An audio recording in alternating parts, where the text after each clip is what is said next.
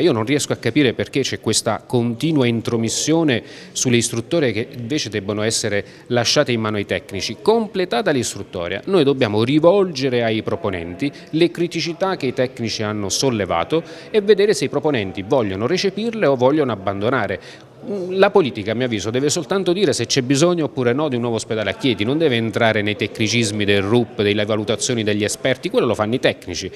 L'assessore alla sanità Silvio Paolucci apre alla possibilità di modifiche al project financing per il nuovo ospedale di Chieti, anche se resta ferma la volontà politica della giunta guidata da D'Alfonso di proseguire sul progetto Maltauro.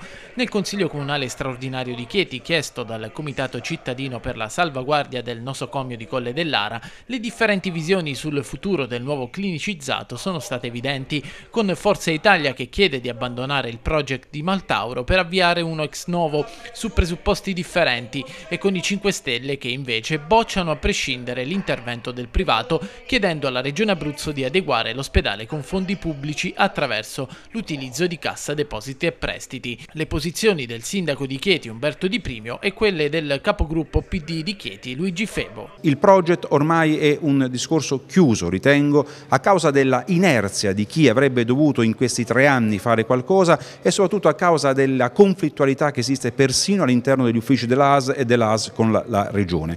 Abbiamo una certificazione che ci dicono che le palazzine F e C sono pericolose sotto il profilo sismico, quindi noi chiediamo in maniera pulita e nitida che la Regione con la decisione propria ci realizzi un ospedale nuovo su Chieti. Parti più vicine invece quando si discute del DEA di secondo livello. Sia Chieti che Pescara non rispettano i criteri di legge, quindi è necessario un accordo che metta insieme finalmente l'intera area metropolitana. Chieti dal canto suo però chiede la valorizzazione delle eccellenze del rapporto con l'università e con la facoltà di medicina, invece a far discutere l'istituzione della centrale unica dell'emergenza urgenza. Chieti e Pescara rivendicano la struttura il capoluogo adriatico con il nuovo pronto soccorso in fase di realizzazione, quello teatrale Latino con la centrale già in essere è oggetto di investimenti fatti poco tempo fa. L'assessore regionale alla sanità Silvio Paolucci propone invece un compromesso, l'installazione nell'aeroporto d'Abruzzo per gestire anche le calamità naturali. In realtà noi dobbiamo costituire una rete di emergenza